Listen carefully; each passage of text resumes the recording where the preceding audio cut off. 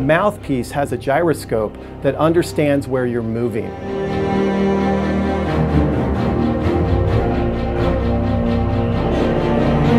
Everything is measured in terms of acceleration or deceleration.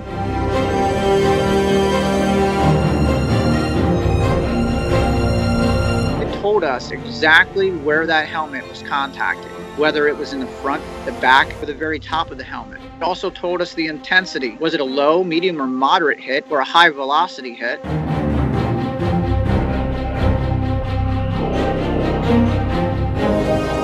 The data we received is every single hit from every single practice and every single game for one team. So it's like 20,000 data points. What we found in the data is that if a player becomes fatigued, their head drops.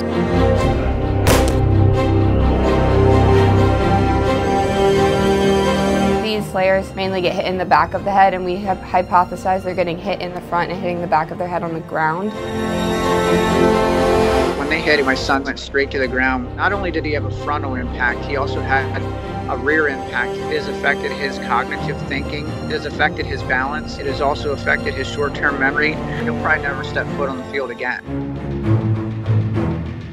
So I did experience a concussion end of the 2015 season. We were playing against the Houston Texans. I felt it right away, so I kind of raised my hand and I was like, you know what, I'm not feeling good.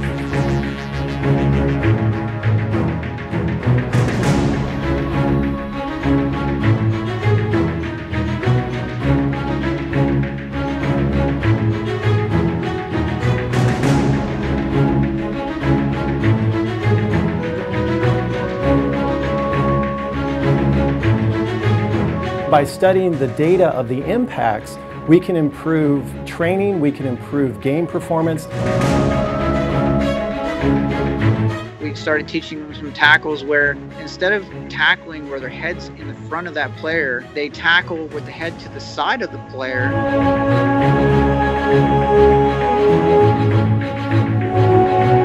I want my sport to be the safest sport possible, even though it's a contact sport.